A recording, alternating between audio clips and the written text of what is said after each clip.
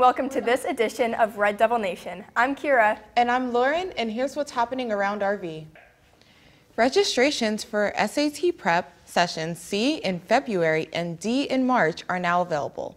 Please download and carefully read the document on the RV website for more details. See Mr. DeZuba in C102 with any questions.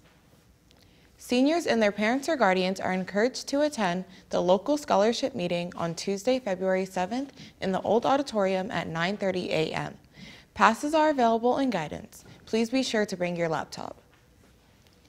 The physics class recently held their egg drop lesson, and the idea is to create a structure safe enough to hold an egg that gets dropped from a high distance. Drew Schaefer and Jeff Scott were not only there for RVTV, but also to design and test their own structure.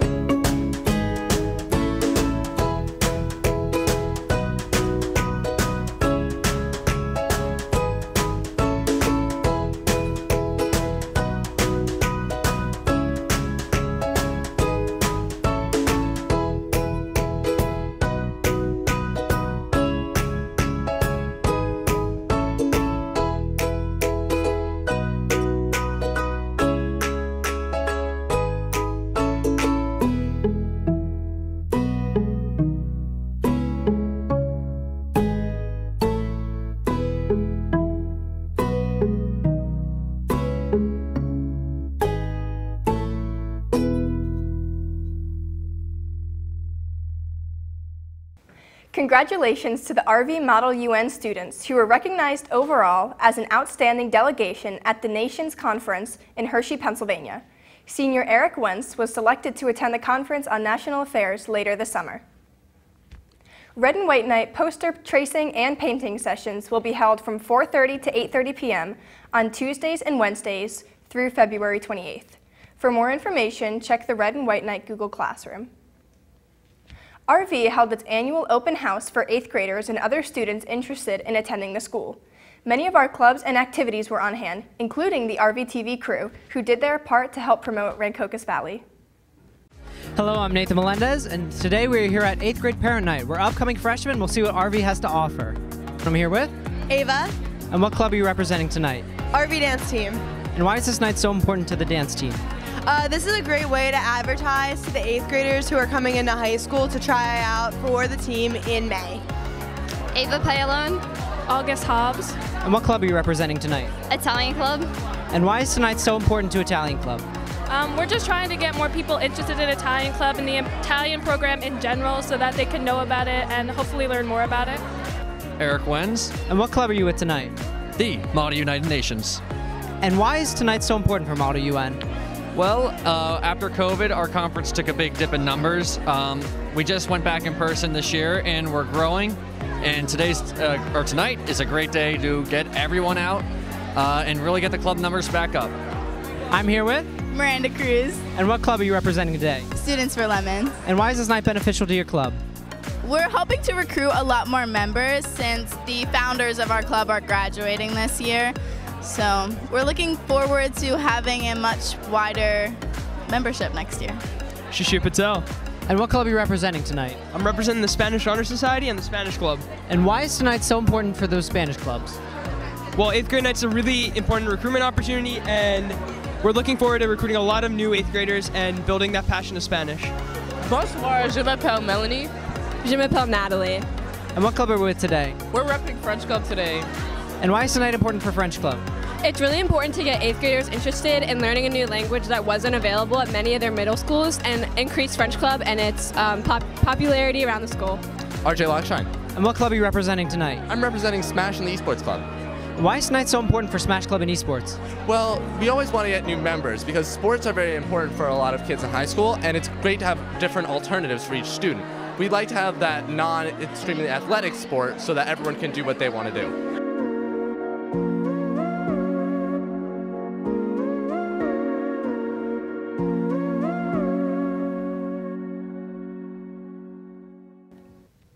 And that's a look at what's happening around RV. We'll be right back with sports and weather.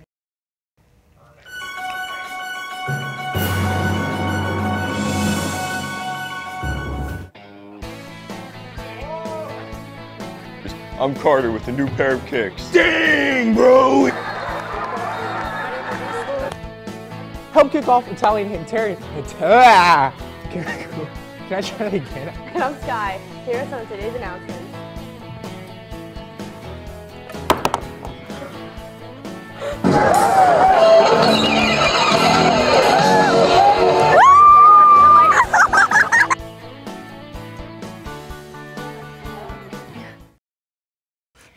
And now for a look at RV sports. Let's turn it over to Miranda. Thanks, Kira. As we approach the midway point of the winter season, let's take a look at how some of our teams have done so far. Boys wrestling opened the new year with a home meet against Cherry Hill East on January 4th. RV scored seven pinfalls that night, including wins by Jake Bartletta, Theo Rumberger, and Yasin Richardson. RV took the win that night over the Cougars, 66 to 13. Boys basketball faced off against Cherokee on January 5th. It was a close battle between the Red Devils and the Chiefs, as senior Jack Ordendak scored 13 points and junior Montre Wilson had 10. RV went on a 19-2 run in the second quarter and scored the upset over the Chiefs, 48 to 45. RVTV was there as the girls basketball team took on Cherry Hill East on January 10th. RV was looking to get back on track after losing five straight. The Red Devils and the Cougars were tied after the first quarter, but in the second quarter, RV's offense came alive. Sophomore Jordan Reynolds scored eight points to help RV take a nine-point lead into halftime. Senior Maggie St. Clair finished with 12 on that night. As the RV Red Devils held the Cougars to only 11 points in the second half. RV went on to defeat Cherry Hill East 48 to 31. After starting their season on a rough note, the girls swim team won their third straight meet, defeating Haddon Township 109 to 60. The girls also have victories this year over Seneca and Lenape. The team now stands at 3 and 3. Once again, I'm Miranda Cruz, and that was a look at RV Sports. Now let's send it over to Savannah and Josephine for a look at this week's weather. Thanks, Miranda. As we approach the end of January, temperatures will remain above average, with rain showers and maybe even some snow, possibly throughout the week. Monday looks to be cloudy with a high of 45 and a low of 34. Tuesday looks to be a rainy day with a high around 49 and a low that evenings of 37. Let's now take a look at the five-day forecast. The five-day forecast. We start on Wednesday. There, there's going to be some showers, and it's going to be a high of 45 and a low of 38, uh, 34. Next, on Thursday, there's going to be partly sunny with a high of 43 and a low of 27. On Friday, it's the same thing as Thursday, except for a high of 38 and a low of 25. On Saturday and Sunday, there's going to be some showers with the high on Saturday being 36 and the low being 23. On Sunday, the high is going to be 37 and the low is going to be 23.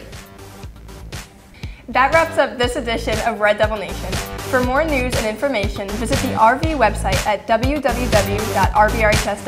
I'm Kira. And I'm Lauren, and for everyone at RV TV, thanks for watching.